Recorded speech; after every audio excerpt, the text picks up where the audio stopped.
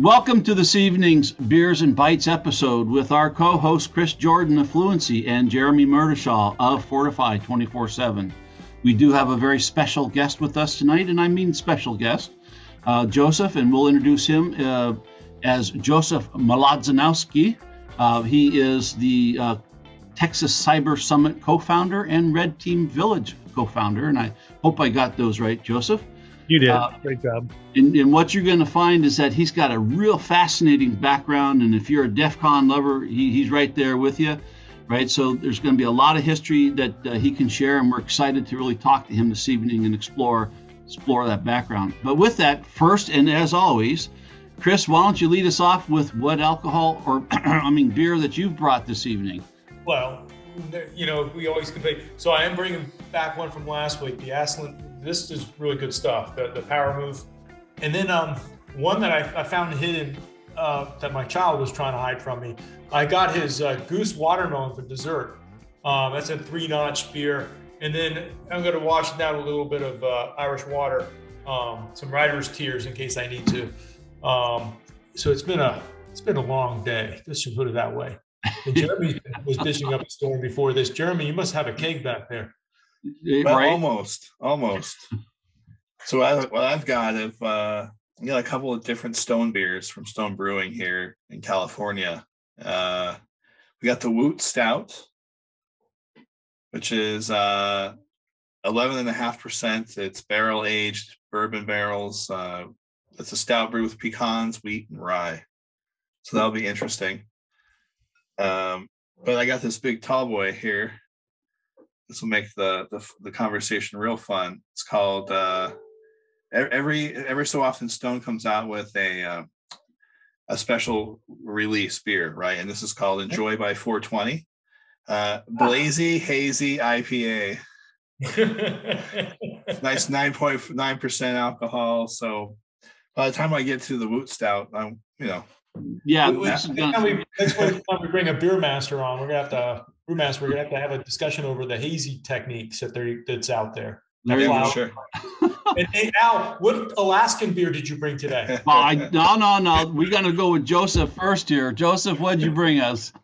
Um, so I'm I'm actually out of the beer that I like. It's a, a pilsner um, from the Czech Republic. It's uh, er, pronounced Urquell.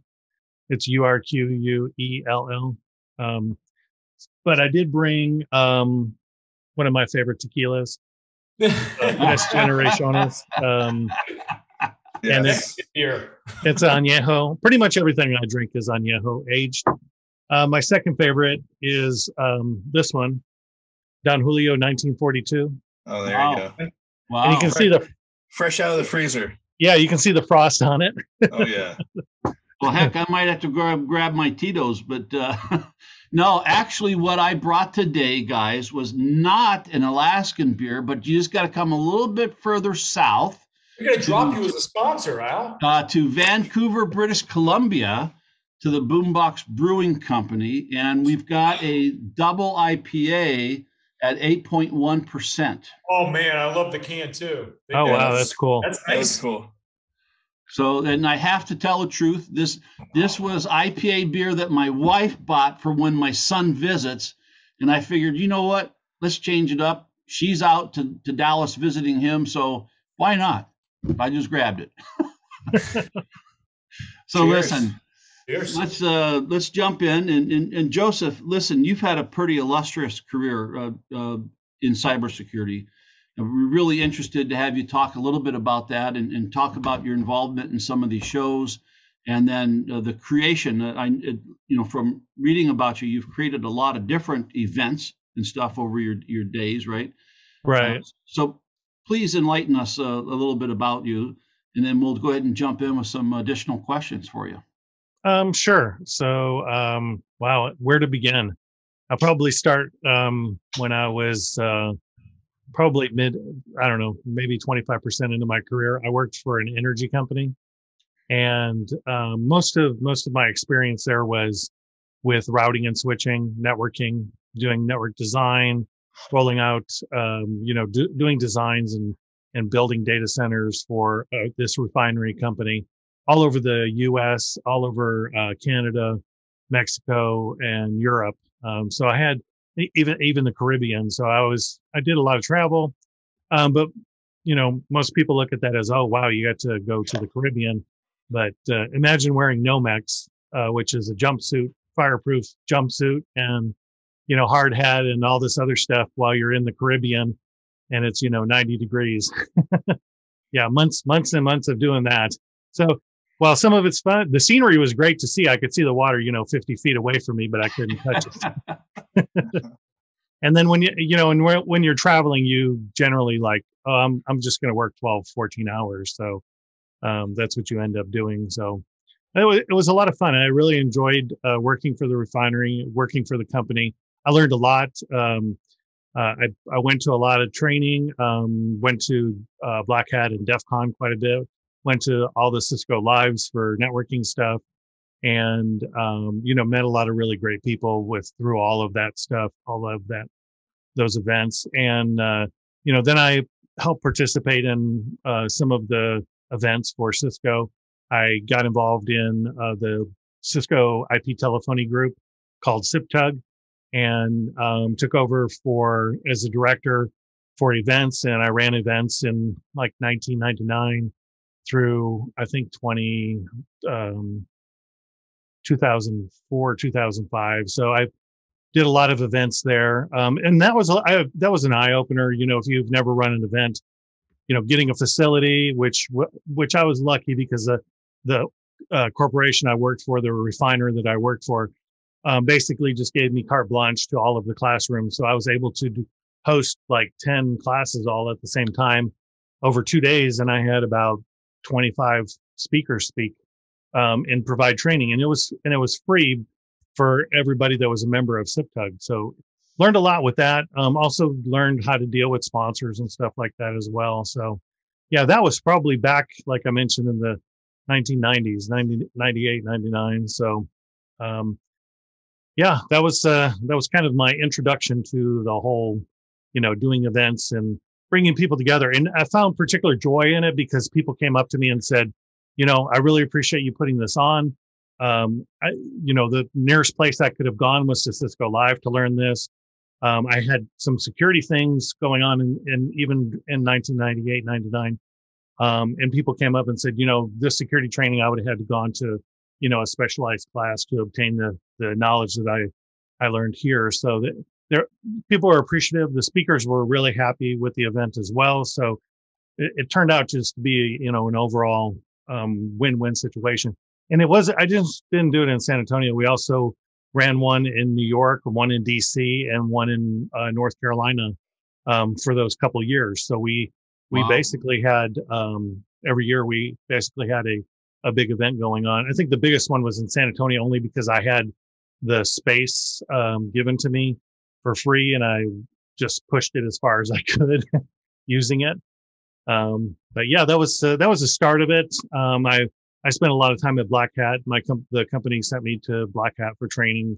Um, we basically had a choice of what we could do. I would always pick one networking thing and then one security thing every year for training. So I'd um, end up at Black Hat and uh, attended a lot of classes there, le- met a lot of good people, a lot of you know national people that you see running around everywhere um, in every event. So it was a lot of fun. Um, and then DEF CON, um, I always say I grew up at DEF CON because I started at DEF CON 7, I think it was.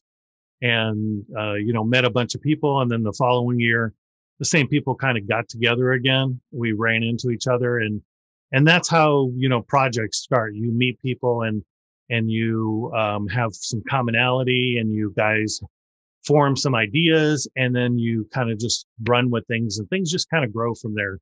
Um, and what I recommend, and, and I've uh, done this quite a bit, is if you're if you're new to DEF CON or Black Hat, um, specifically DEF CON, if you're new to DEF CON or some other conference that you want to go to, like ShmooCon, volunteer. The best thing to do to get acclimated, if you're going and you're like nervous about being around people or crowds or whatever, um, go and sign up and volunteer. And that way you kind of have a mission when you get there. You're going to meet some people that are the organizers or that are in charge of volunteers, and you're going to have, and you're going to get to spend some time with them. And then you always have some place to go. Like if you're just an attendee, you may not have some place to go all the time. You may have to hang out in the hallways or whatever. But if you're a volunteer, um, typically there's a volunteer area and you can go hang out with that. So you, so if the crowd gets to be too much, um, and you're not used to that, you can always escape back to to wherever that that area is at. Hey, Joe, you know, one thing is is kind of interesting is I, I look back with nostalgia back to those days, right? I remember before we did the roof over the Alexis, right? When it was still, you could still go inside. It was cool. It was, it was nice. It was small. You could actually see people speak. Um, right. You know, it was, it was kind of interesting, right? You had the, the, the, uh, the capture the flag and it wasn't as organized and as, as, as like a, a major event as it is today. Um, I, I look back at that and I say to myself, okay, so I'm talking to a guy who, who learned security the way I did, which was interacting, right? Talking to people on either side of the, of the table and, and learning it. What do you feel about the change in the industry around this formalization of certifications?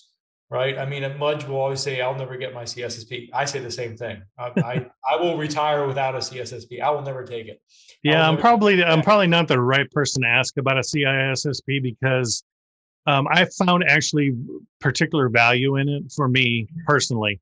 Um, it just so happened that the energy company I was working for was building a brand new data center. Now mm-hmm. there's like, I would say 80% of what is in CISSP um, almost can cross over to what you're going to do when you're going to build a new data center.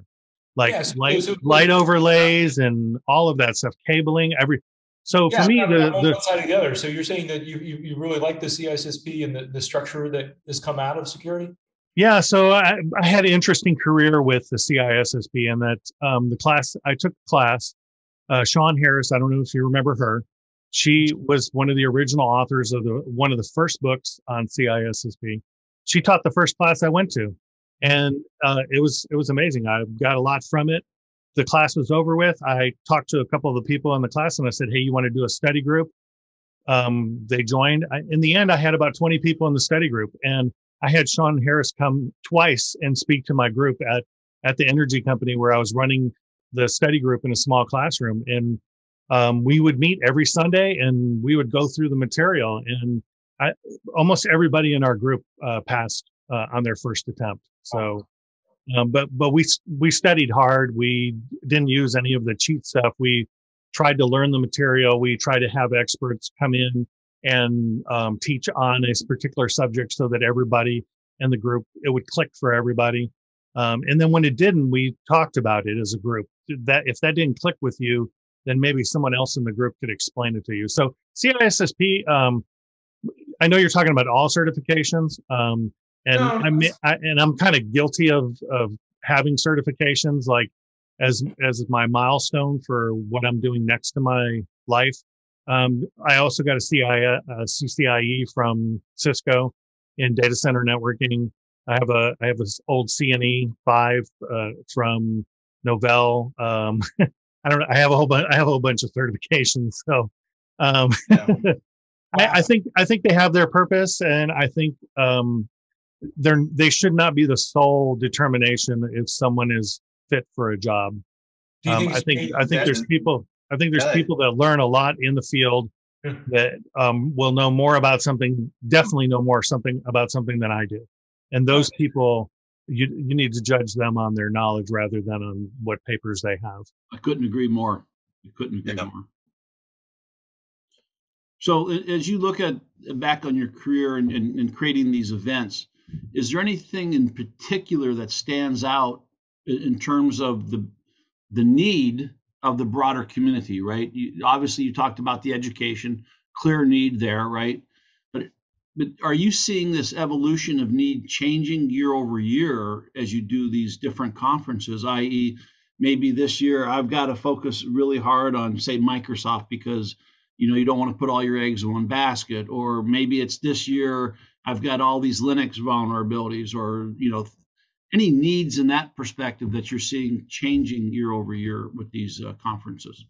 Yeah, um, and if we put COVID aside for a minute, um, well, we can talk about about that. Um, the target areas for you know what's happening in the in the world in the industry um, that particular year are definitely are important for the conference. But I try to um, I work I, I, have a board that works um, on like approving speakers and content and training and all that stuff, and we work together to try um, to make sure that that it's a diverse enough um, flow of information that not every class that they're going to go to is going to talk about you know the SolarWinds you know supply chain thing we're not even this year we're not going to have 50 talks on supply chain securing our supply chain it's important it's important to have um, we'll have a few talks on it a few experts um, talking about how to shore it up but the event's not going to be about one particular um, subject and i really don't think any conference really should be because when you bring in a lot of people um, you're bringing in a lot of different people with a lot of different ideas, a lot of different concepts. They have different experiences. They're looking to get different things out of the conference. Um, that helps formulate what what their experience is going to be, not just with the people, but also with the training that that you're you're bringing in. So having a diverse amount of uh, or diverse type of education coming in uh, between the different classes, even the levels. For example, um, we do a 101 track. And um, some conferences don't do that because they're, they're afraid of people saying, oh, I don't want to be in a 101 class. Our 101 classes are end up getting so packed we have to run them two or three times. I don't know if you remember in, in 2019, we had to run a class four times because we could not fit enough people in the class. And thankfully, the the the speaker, the trainer, uh, was gracious enough to do it that many times. It was it was it was amazing. So we we tried it. so beyond our schedule, we try to adapt like that as well. So if we see this huge demand and and people are asking for it, we will figure out a way to make it happen with them. So and I think a lot of conferences do that. Um, I, I don't know a whole lot of conferences that don't that do that have their own tracks. That I guess if you're selling a product and it's your conference, you can do whatever you want to with it and just talk about your product. But um, at this at the events I run, I try to make things um, as broad as possible to bring in uh, to bring in experiences for everybody from the novice all the way up to the you know the ninja expert. Yeah, but it's not that obvious. I mean, if you take a look at like Black Hat, the evolution of Black Hat, right?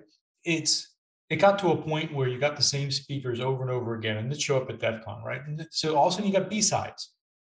Probably the greatest thing that ever happened to the, the security conferences was B sides. Look at Saha, and all the the the creation around having an open mic night right that want to get off their chest what they're working on it. and i have to tell you as a guy that's i've been to 20 plus def cons and and I, I have to say that i enjoy the speed speeches that that dt has added i've i love b-sides no matter how politically incorrect some of this crap that shows up on b-sides is it's wonderful, right? And you brought up the diversity.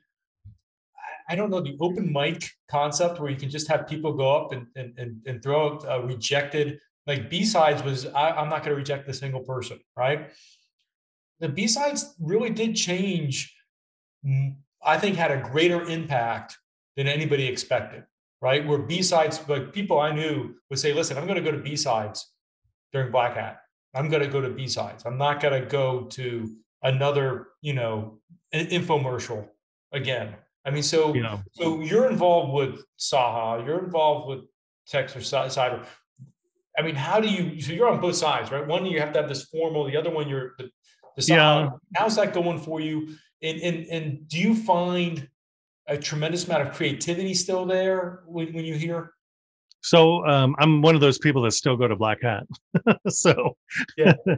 um, my my feeling is really that uh, that there's value in all of these conferences. You have to you have to be aware of what the value is. You and what your goals are, what what you want to get out of the event, what you want to uh, what you put into the event is what you're going to get out of it. Everybody says, and and that's true because um, I'll take classes um, at Black Hat. Still, my I'll the company I work for now will ask me what I want to do. And I basically still do the same thing, Cisco Live and Black Hat. So um, I like to take the learn classes from or take classes from the experts as well. Sometimes I'll even do like refresh stuff, like like if I if I know like BGP, I may want to sit in a BGP class, or if I um, no particular writing exploits. I may sit in uh, writing exploits class again, and and that's because I want to pick up whatever the new techniques are that I may not have learned on my own. So now, if you're talking about like like Black Hat, um, DEF CON, and B sides, they all have their place, and they have their place for people that that work for corporations and can, the corporation can afford to send them there. Um, they have their place for the people the people that are novice in in working in a job at McDonald's or wherever, and they can't afford that class, but they can go to B sides because it's way cheaper, and it, they're going to get some quality. They're going to get quality education that's going to help them in their career. That will maybe move them out of the job that they're in into a cybersecurity job. That then maybe that company sends them to the the more formal. Yeah, you know, I guess one of the things more formal bigger classes. Yeah, Joe, is, is that if you take a thing, look at like the Wild West Hacking Fest, right, with Black Hills Security, that's a great group of guys. Right. And, yeah, they're all super knowledgeable people. Right, and they just they they did they they're now expanding. I think one was in San Diego, but now the next one's going to be in Nevada. I'm going to try to get Jeremy to go go go with me on that one. It's not a date, Jeremy. You're, you're going to, to, the, the, conference. No, and, I'll go to uh, South Dakota. I just got to get me a Harley before I go. But then they, they, they moved it up because last time I went there was, I was going to swear, freezing. It was, it was, they required that F word in front of it. It was cold. Um, but it is, it is a, it, you know, it's empty by the time they did the Wild West. But now I think they're moving it up and then they put this one in Nevada. But, but I guess what I'm saying is because, you know, I was just exposed to Cyber Texas, and that's another one that that deserves a little bit of recognition. It's it, you know these the ability of getting a decent speakers is, is getting easier and easier for these smaller venues or these different venues, right? They're spread out. Yeah, certain certain speaker, yeah, certain speakers are that way. Um, there's a lot of speakers that won't do smaller events. They won't do B sides. They won't do Texas Cyber Summit. They won't do they they won't do some like maybe even the Wild West Hacking Fest. Um, and they only look to do like the big name shows. There's speakers that are that way. Um, yeah. The the and at Texas Cyber Summit, the way that we've been able to get other speakers that are you know have big names is through personal relationships. You know, whether that's my relationship or somebody else on the team's relationship, ask them, "Hey, would you like to speak?" But you can ask Jeremy right now. right Absolutely, I yeah. accept. So awesome. So speaking of that, let's let's get a quick plug in here because I think the audience it's even worth traveling in from out of state uh, because, as I understand, San Antonio is one of the biggest cybersecurity markets out there. It uh, is. It is definitely. We have so there's agencies that I can't mention that are here, but there's some that I can. Um, there's the NSA moved some of their stuff out. Yeah, there. yeah, maybe the AFWIC, which yeah, some of us some of us know about this with the Air Force Base there and stuff, right? Yeah, I, I, I worked in I worked in federal for ten years, so yeah, they also moved. I have to be careful about what I say. Yeah. San Antonio to Salt Lake because they couldn't get enough people. And the Mormons, they get their clearances like this. So, anyways. yeah. yeah, their life is boring. but you've got you've got an event that's coming up because Texas is open for business now. Right? It is uh, limited yes. attendance, but at the end of October. So talk a little bit about that that date for the the audience. Yeah, sure, absolutely. Thank you for bringing that up. So the Texas Cyber Summit is in its fourth year. Um, this year, we're going to do four uh, tracks, two really large tracks and two smaller tracks. And then we're also going to have villages. Um, we'll have a giant room for some villages. And then we'll have a, a couple other smaller specialized spaces. We can support up to 2,000 people. And and that's even with social distance. So yeah, you heard that, Jeremy. Joseph, he's Joseph saying that uh, once again, Black Hat or sorry, DEF CON is canceled. And, uh, Texas All right, Texas it is. Yeah, so so the event is going to have, um, like I mentioned, four tracks. Um, but but beyond just the on-site part of it, we also have a virtual component of it. And last year, our virtual component, we had like 10,000 on our red team village site. We had like um, almost 4,000 on our um, on our gray hat site and uh, around 3,000 on our TCS site. So we had we had like thousands of people attending last year for all of our events from all over the world. So we're expecting a pretty large number this year as well. Um, we have some amazing keynotes already lined up. Um, I don't know if you had had a chance to look at our um, book uh, at our uh, website. Um, as far as so, we have keynotes both virtual and live, and then we have um, briefings virtual and live, and then we have workshops virtual and live. So we're filling all all of those schedules in right now. It's it's a massive undertaking, but we're trying to make sure that that we bring the the same value that we're going to bring in person to the people that are attending virtual as well. Um, and and the and most of the content uh, that's going to be virtual is going to be free and open to to everybody. Uh, there's I think it requires a donation. The other thing to mention is Texas Cyber Summit is a 501c3 nonprofit. Um, so any anybody that donates money to it or sponsors or buys a ticket or whatever, it's all tax deductible. So, um, so so one would ask, you know, you have a keynote uh, senator. Is that last year or this coming year? The senator that's listed there? Yeah. Um, he's this year. What what so that's interesting. So uh, politics in the in the cybersecurity world? How, yeah, I've always tried I've always out? Yeah, no, it, it doesn't play out. So I have a conversation with uh, last year we had a um, a, a, state uh, representative come and he happened to be a Republican and I had a talk with him and I said whatever you talk about it needs to stay neutral you cannot talk about, you know, I hate Democrats or I hate other Republicans or whatever. I, I, don't know. Politicians are politicians, right? So um, we had him on a panel. Um, th- it worked out fabulous. Um, I had a conversation with this senator as well about the same thing.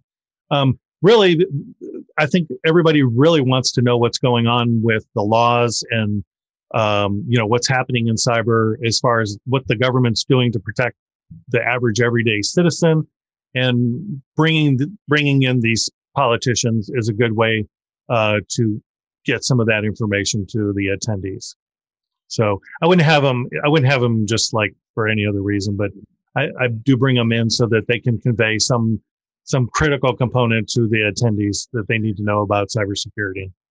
So Senator Menendez is part of some sort of working group within the or, within the government focused he, on cyber or what's his role? Yeah, he is and and healthcare. So I wanted to Good. so he's going to talk a little bit about COVID and the cybersecurity uh, aspects around COVID and stuff like that. So yeah, protections and all that.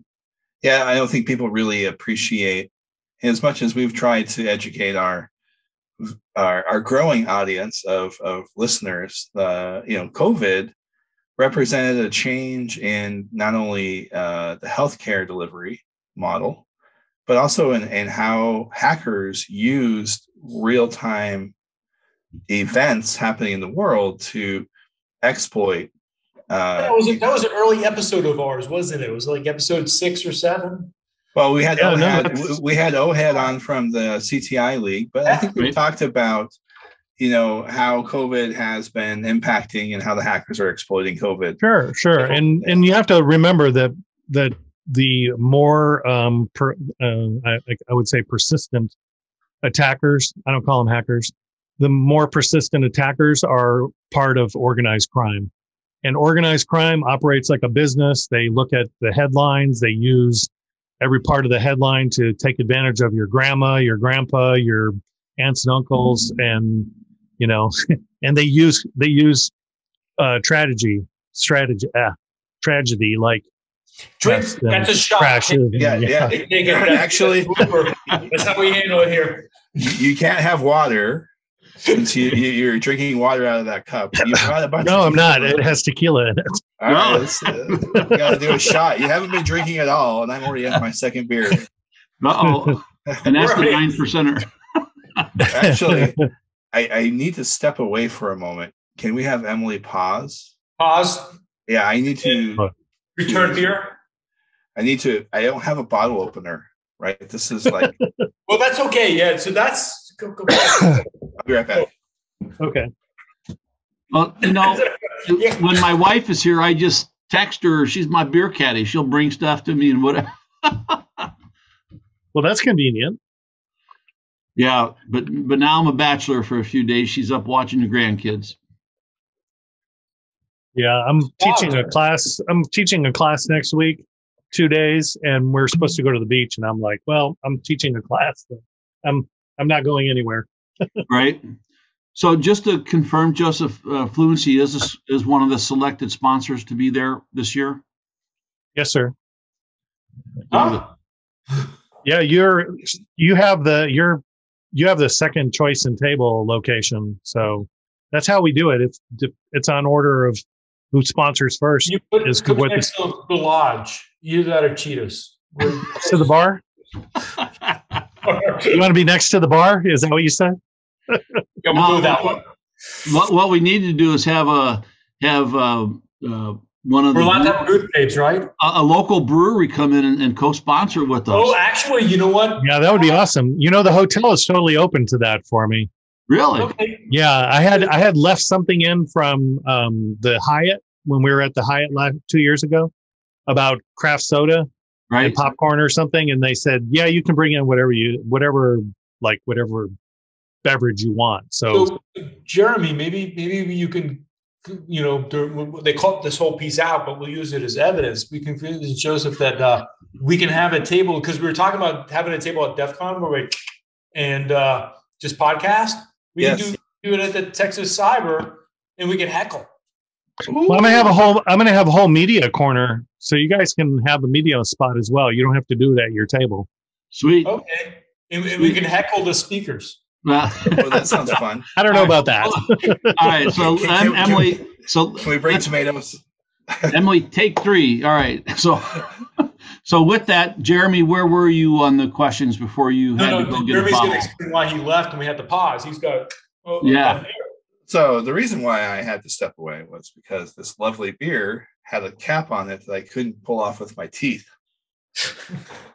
so that's rough.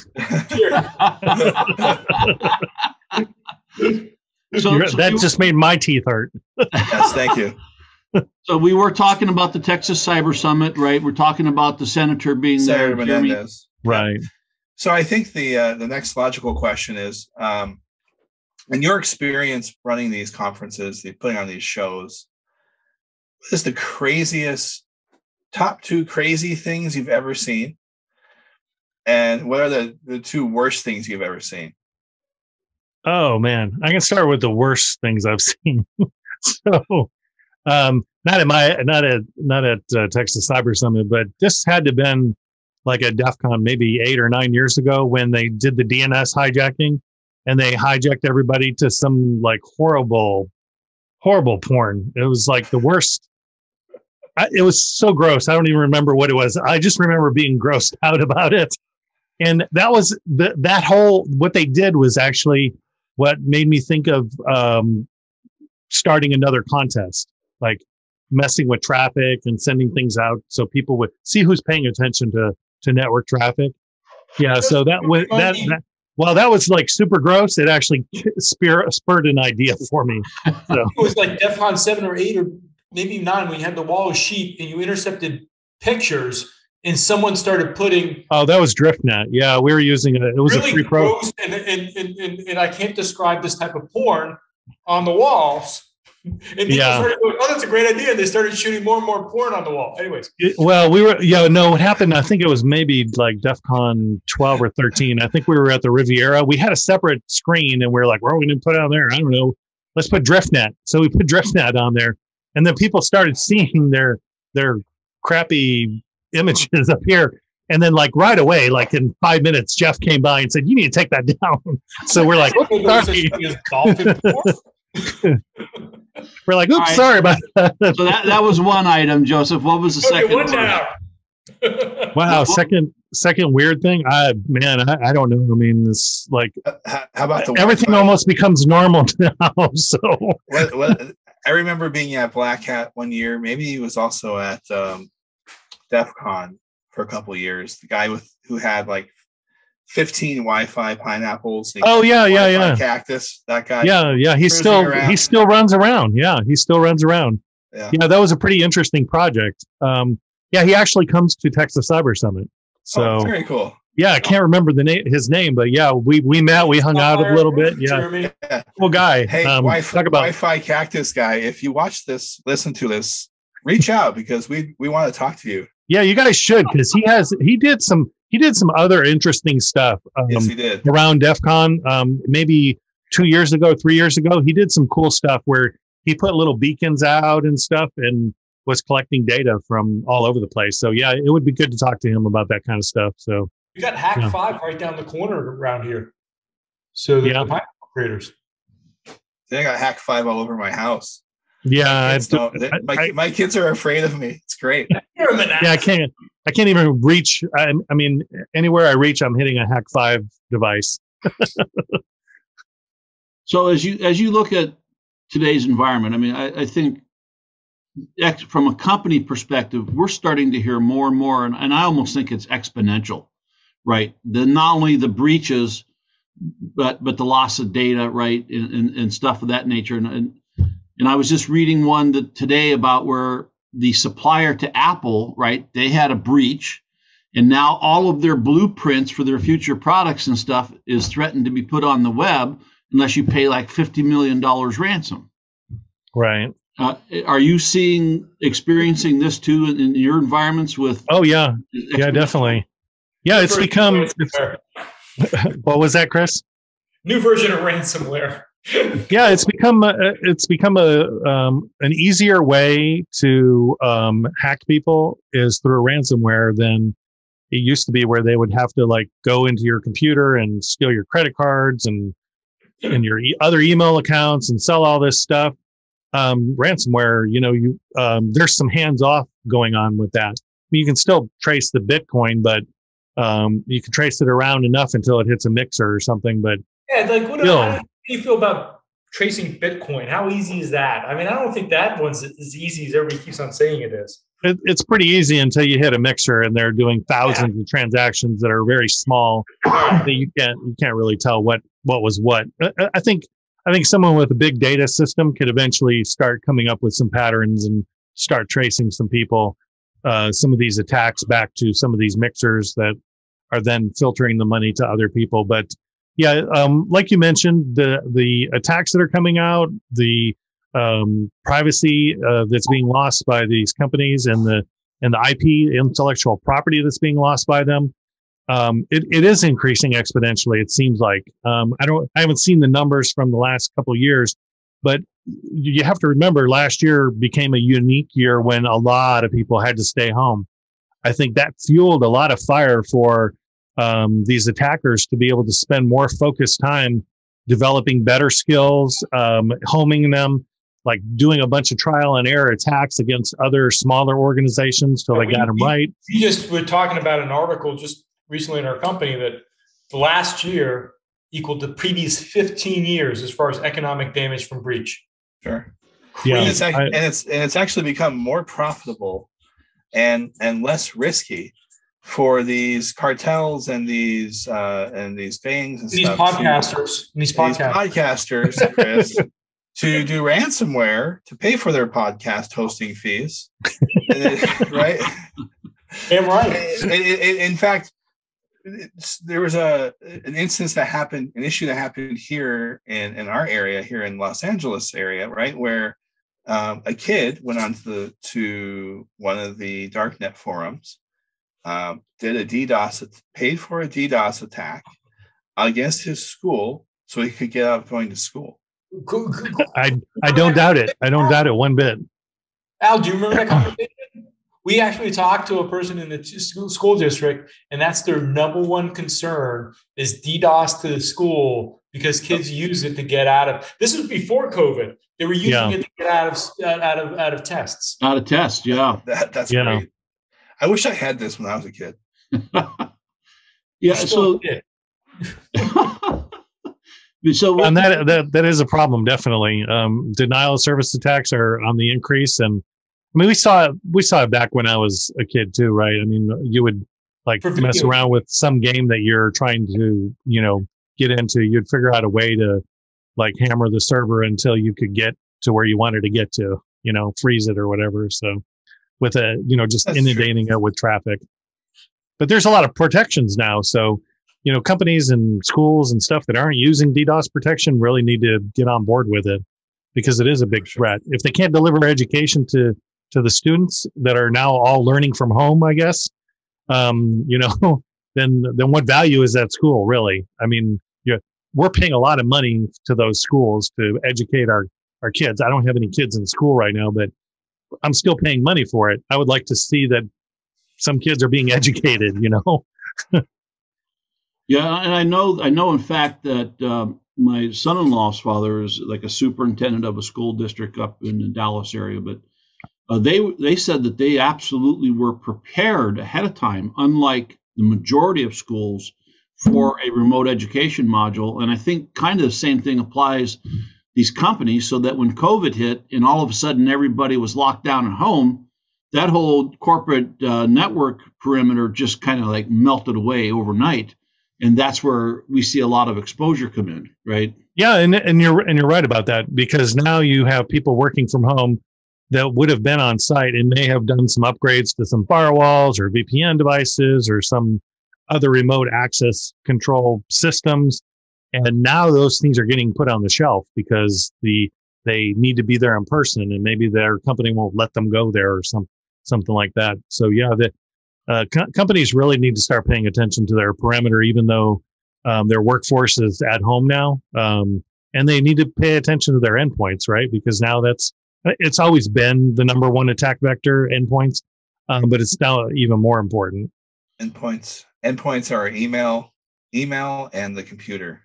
Absolutely. Yeah. yeah. The two you know, most so I, I, know I know a guy things. I know a guy that can get in that can get into anybody's computer that he targets. Um, and he just uses email. He just figures out a way to craft an email that you're going to open. And he graduates high school next week. Yeah, yeah, no, junior high. yeah, exactly. Some of these kids are good. Going, Jeremy, uh, screw that. How's the beer going on it? You got that that specialized one. Uh, your limited edition. Go. How's it going? Well, you know what? I'm not. Is feeling, good? Are you feeling it? I'm not feeling blazy yet. So it's probably not it's not uh, brewed with any kind of marijuana hop, but uh, it's really my, it's really good actually. I had my cork get stuck, so I I used my razor knife to cut it out while we were talking. There you go. and, and, of course, Joseph just got his tequila shots going, so he's he's good to go. Thank you. There we go. No, we, we, we do that, Joseph. You know, this is your first time speaking on our podcast, and like DEF CON, you have to you have to do the shot. Yeah, you have, have to, to be a little fucking... liquored up. Yeah. Yeah. so, so there we go. While you're drinking, here's a question for you. Uh, the, smooth as silk. The, the largest uh, mining, the largest coin uh, outside of Bitcoin, Bitcoin mining. Monero is the most prevalently mined coin because it's in all the crypto miners, miners, miners. Miners, can you? This applications, yeah let, let, me let me try that again. It's in all the crypto miners that are deployed through these uh, malwares and backdoors. And oh, you're talking like the crypto miner software that, that, that yeah. people uh, get infected with. Yes. Right. So I, I saw. But you understand uh, why? You know why that your, works. On your, you're going to have a Monero. No, Jeremy, it's, you, you froze. You froze. You froze up, buddy. Go on. Try it again. You were, talk, you were talking about the Molino brothers, you, singers from Mexico. yeah. Yes, the Burrito Brothers. Yes. hey, I don't know. I don't know those guys, and even though they visit me, I still don't know them. I know nothing. No, the the Monero cryptocurrency mining is a sure. prevalent miner that gets deployed throughout people's networks through malware. I noticed that you had a Monero um, village village. And I'm, I'm curious to know, you know, Monero, the theory behind Monero is it's a Russian mafia SVR funding source. So, hey, they need money too. Monero Village. It's like they need money too. Come on, man. I, I, I thought the, the, the, thing around that particular cryptocurrency was that it required uh, using the main CPU processor versus the CPU processor for the algorithm of the one way hash. And so it makes sense that that particular type of crypto is used in miners because you're leveraging the CPU versus the GPU, right? And it'll it, do both. Yeah, yeah apparently you can use both. Yeah. So it, back back to the back to the village. Yeah, back to the village. We invited all of the villages that were at DEF CON to be part of Texas Cyber Summit, part of Gray Hat that we did last year. Um, and any village, and really our call for villages is open. So if you want to do a village, um, submit a paper, and we'll be happy to look at it and see if we can add it to our agenda. Monero, um, we worked with them. Village or, or Cyber Summit? Texas, Texas Cyber Summit, where okay. we have villages. We called them havens when we first opened because we didn't want to. Oh yeah, the Trump closed the havens down.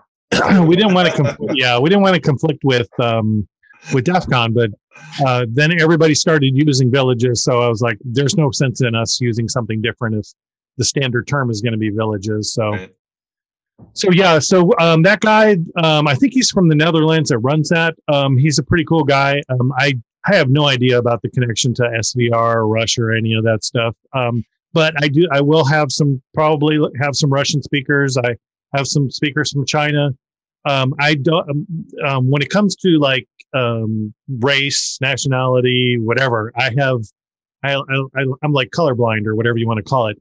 I believe all of us can learn something from everybody. So, um, yeah. if there, if there's a guy from Russia and he's an expert in, um, you know, exploiting something, some IoT device or whatever, um, and he wants to speak, I definitely want to host him and have him spread that knowledge because we can't defend against it if if we're not letting that guy speak about it, right? Yeah, that's true. So, so I think we need to get a village that says, "All right, how many beers can Jeremy drink before he starts slurring?" right? a beer, oh, beer, actually, beer village. beer village. Yes, I bet you. I, I, bet you if we did a beer village, not only would we have it would be the most popular village. No, there isn't. We, I think there is a. But we could get that sponsored. Hoppy. There has to be the hoppy, the hoppy, hoppy village. but, but yeah, we could do the hoppy. That's you know what? Excellent. That's a great concept right there. Right there alone, you just made tonight. Yeah, absolutely. So you were going to say, Jeremy, before. We I'm just San Antonio has UFO, right? You got a bunch of UFOs down there, don't you? I, I have no idea. I've never seen one. Oh, you, you guys, that's a drinking place down there. So you're not drinking. Oh, the yeah UFO. oh yeah, yeah, we do over on um yeah on, yeah I know where you're talking about. Never mind. It's known for the collection of beers. yeah, I actually have a card from that UFO place. I thought you meant the real UFOs. No, no, that's down they're, in Vegas again. They're, they're like in the news. They've been in the news like almost oh every oh week God, now. Serious shit. Well, that's out. That's out in California, off the coast. With no, the no, no, no, no, no. It's, it's next to it's carriers. Yeah, it's it's it's aircraft who are doing their their normal traffic patterns are seeing these things and actually triangles. The, the U.S. The, the, finally the, the, acorns and the blimps. The yeah. U.S. Department of Justice or whoever some some government agency came out and said yes, those are not of the, our planet. Yeah, they're, they're, they're, they're, un, they're just saying they're unidentified craft. That's all they're saying. Right. I, but they were, I saw pictures of them and they're triangles, and it's like, how in the heck? The pyramid one, yeah, that, that one's yeah. scary as crap. That one's excellent. Yeah. Well, the guy took it from he got his iPhone out and his F14 Tomcat. It's like, oh shit, look at that. Beep. Yeah. What about the one they when they do the uh, they lock onto it? That object they lock onto it. That's crazy as hell. Oh, follow it all over the place. Yeah. So we'll, all right, UFOs another another day subject, right? right. Wrong, wrong podcast. So so in terms of the other villages that you have going on, Joseph, um, so we, you've got the one on the crypto mining. The, what other ones do you have? Um, I, I'd have to go look at the website. We're, but like I said, we still have them open. I know Blue Team Village talked about being there. ICS Village and IoT Village have both confirmed, so I know we're going to at least have them. Um, we have enough space for like six villages, so we still have a few, a little bit of room left. Um, if uh, if there's any villages out there that are interested in uh, being in Texas um, in October when it's warm, come on, come when on. It's warm, that's a fact. And, and listen, for our constituents listening, uh, all three of you, you know, think about about the uh, potentially doing a village here. Right. Yeah, and, or doing a talk. Yeah, and while we have your attention, there somewhere over here is a like button. Somewhere over here is a subscribe button. Hit them when you get a Never put those on our videos. I don't think. on this video, you definitely need to do it.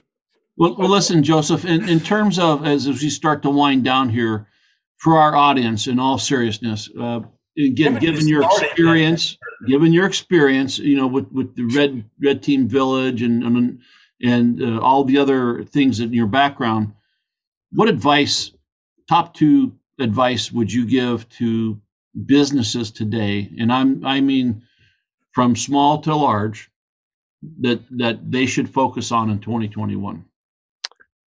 Wow, that's pretty. That's gonna that's gonna be pretty deep because, um, well, the first thing I would say is you can't hire um, your experts your way out of a problem, um, and you can't. There's there's experts that you can't afford to keep on staff, not because you can't pay them enough, because those experts are not going to be um, challenged enough, and they're going to leave. Yep. Um, so if you so uh, outsourcing used to be a bad word to me. Um, it's not anymore. If you need to outsource because you don't have the specialty in house, um, and there's a company that has those experts, I would say consider doing the outsourcing just maybe on that particular component of of whatever is a challenge for your organization. Um, and then the second thing is to educate the hell out of your employees. Your employees, again, the the endpoint is the weakest link. Your employees I hate to say are the weakest link, but your employees are one of those links in your company that that need to be educated so that they can spot these spot issues early on. And if I may add a caveat to that, it, it's been our experience that when you use the term employee, most times the executive staff of companies are saying, that's not me. Right. But guess who's yeah. getting breached the most with these yeah. spear phishing attacks?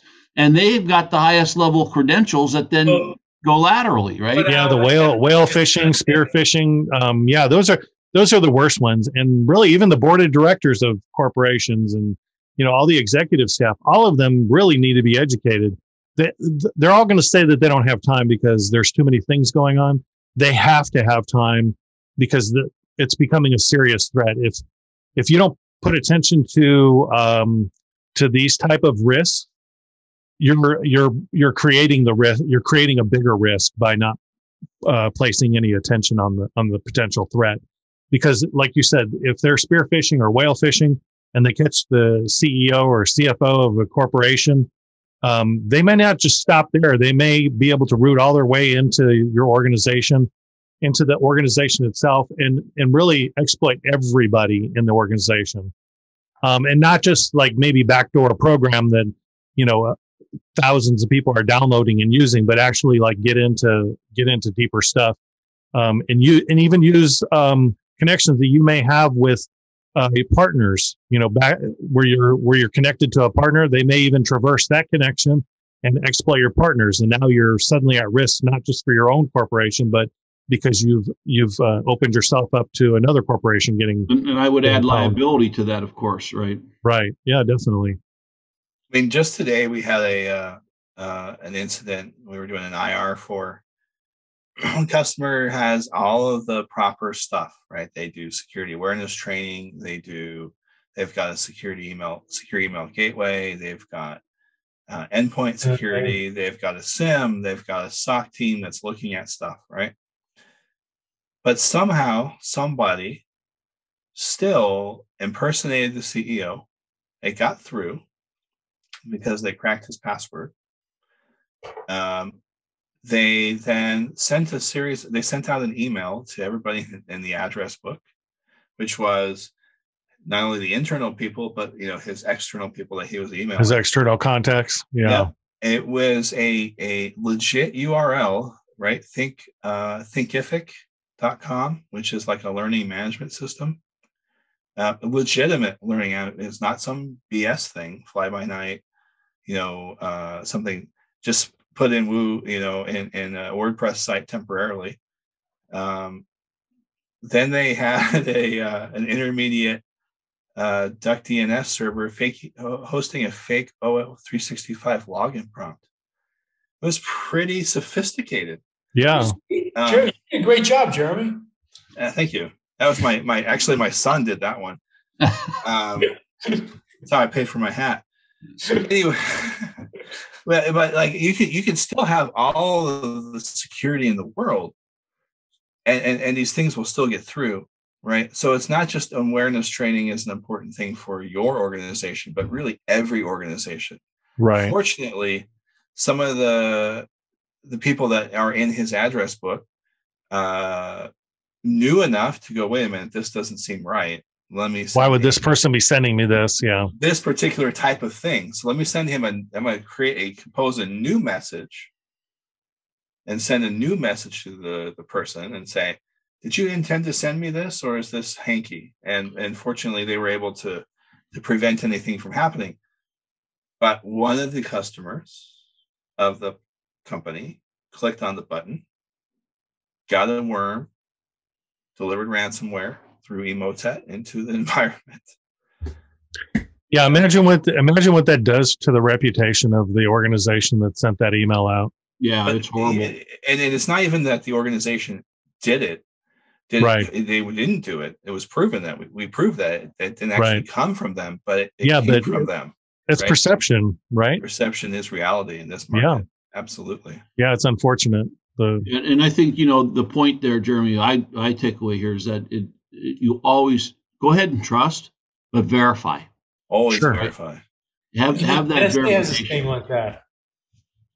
And, and we, I've heard story after story where where someone, maybe it's procurement, said ah, this doesn't make sense. You know, we've never sent a check to these people before, or uh, you know, other things like that, where someone has stood up and said, "Hey, what is this?"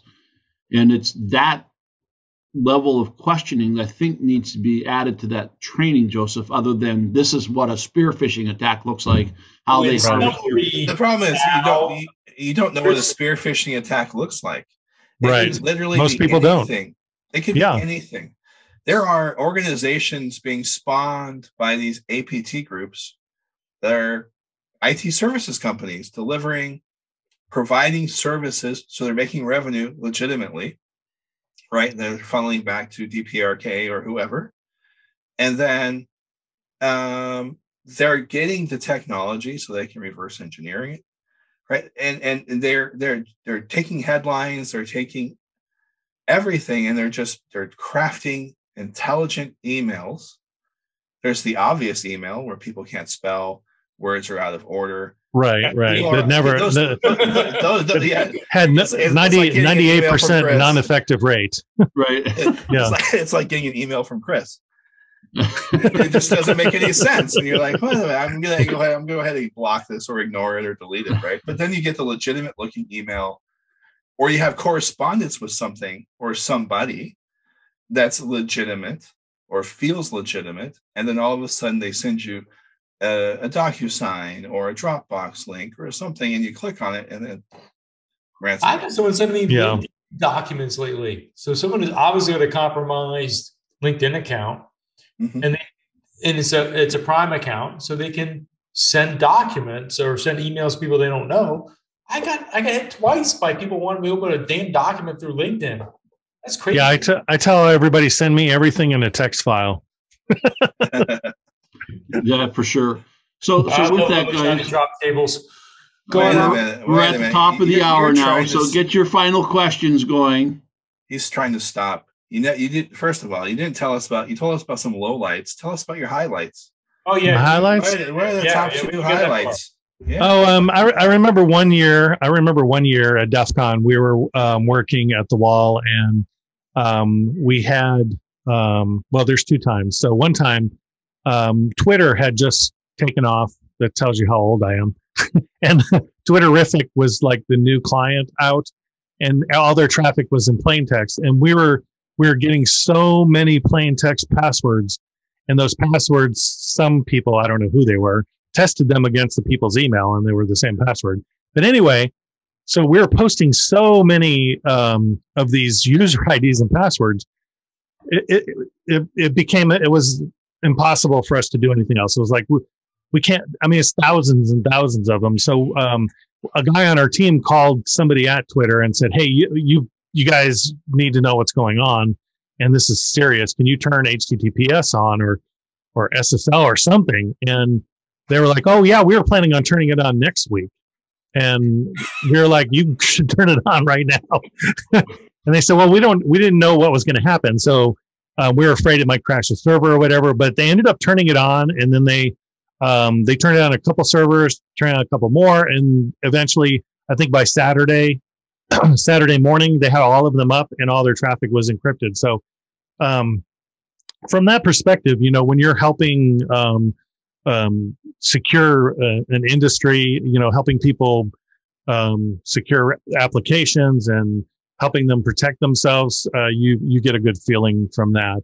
Um, another time we captured some stuff, and this guy had CEO of a company sent a file, happened to send a file to an uh, IT guy internally, and I captured it, and I was like looking, I'm like, holy crap, this is like every password for every uh, Linux server on their entire network, and all their exposed servers as well.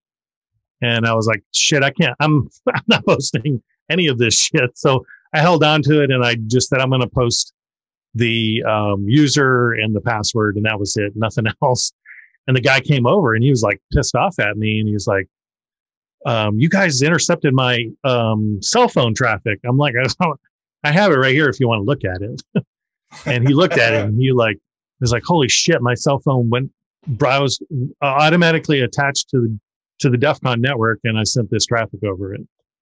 Um, but uh, yeah, and we we worked with them to like make sure that, uh, but but we were not the biggest threat, right? There's thousands of other people um, that are attackers that are sitting there looking for that type of stuff as well, and mm-hmm. so you know oh, yeah. if you assume that that I got it, you have to assume that at Everybody least a thousand other it. people got it, right? 100%. So, so my conversation, I, I was a smartass to begin with. I said, well, we have this thing. You have to go through our education program before we take you down from the wall. And, and he's just turning redder and redder. And I was like, I'm just kidding.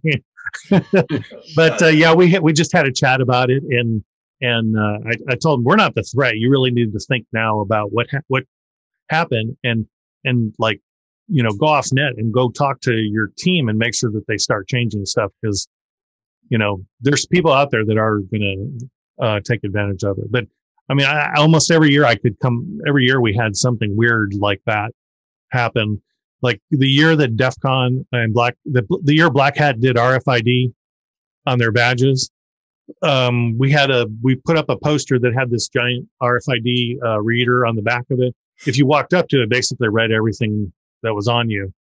And, and some, some law enforcement from that was attending Black Hat came over and stood in front of the sign and got read. And um, anyway, several people got pissed off, and we ended up having to take the project down. But you know, every year, every year you basically can have some really funny um, or weird or like crazy stuff happen to you out there. So DEF CON is is really a great place to hang out with friends, um, meet new people, Sure. Um, like just experiment with uh, with crazy stuff and and and have a good time. That brings up two points. The first point is people don't realize that their mobile device, whether it's a cell phone or a tablet, is as big of a, a uh, a threat to their corporate data. It's a bigger. It's a bigger threat. It's a bigger threat to their life. Yeah, true, true. Second thing is, I forgot because that beer is kicking in. So I'm going to pass the ball back over to Al. Oh, so the first thing on the cell phone, yeah, if you don't think your cell phone is valuable, think about the fact that you do your banking on your cell phone. Think about that uh-huh. you may pay your house mortgage on your cell phone. Maybe you don't. Maybe you do that all through email. Well, guess what's on your phone? Your email. So, um, what about your one-time password um, authentication? Is that on your cell phone as well? So yeah, um, your cell phone is doing a lot of stuff and has access to a lot of stuff, like your wireless networks that's in your house, along with the password to that and some other things. Um, yeah. Actually, that brings up my second point. Now that oh, I remember, when you're at when you're at Black Hat or DEF CON or B Sides or any of these conferences, always. always put your laptop and your phone in a Faraday bag. That way, yeah, it's inert and they can't steal your stuff. Exactly. Right? Because everybody is. I see more and more scenarios where companies are denying bug bounty, right? So if folks have exposed something, hmm. they're actually turning on the hackers trying to take them to court now for, for breaching versus participating in a bug bounty program. And I think yeah, and that's that's, that's just going to yeah, and that's just going to send that's going to send those exploit writers, those bug uh, bounty people uh, overseas to countries that are going to pay for it underground, and going to be a bigger threat to that company and to every um, customer of that company. So they need to think about that um, before they turn off their bug bounty because bug bounties have become a, a super cheap way to check program application developers. Yeah, I agree. Jensen, Genshin Impact definitely needs to add multi-factor authentication to prevent anybody from taking over a gamer's account again. yeah, and and for you you private developers in in the Steam environment, stop embedding crypto miners in your code. oh my god, that's a great idea. It's been, yeah, why not I think of that? It's it's already being done. Stop it, people. Thank you for inviting me. I really appreciate being on here. And uh, Chris, great to meet you. Jeremy, Pleasures. awesome to meet you as well. We'll bring we'll bring Al's Tesla and we can practice hacking it. There you, there you go. go.